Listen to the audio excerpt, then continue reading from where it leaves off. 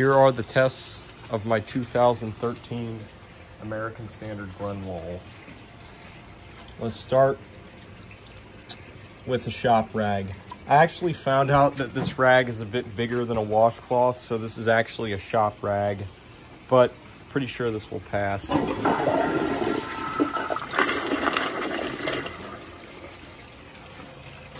Looks like it passed perfectly.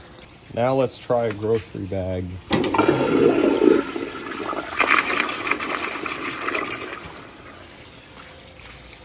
Passed perfectly. Now let's try the washcloth in the grocery bag.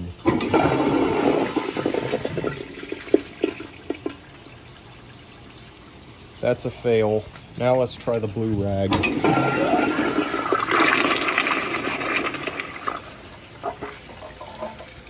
Passed perfectly.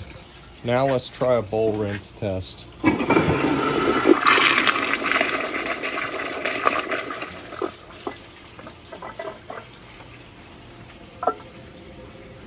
It honestly didn't do half bad. This toilet honestly isn't half bad, to be honest. Now let's try a bonus test. Let's try 15 feet of two-ply toilet paper.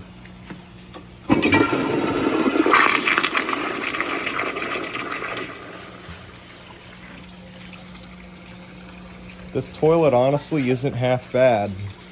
This is actually pretty, a pretty good toilet. Anyways, that is it. Thank you for watching.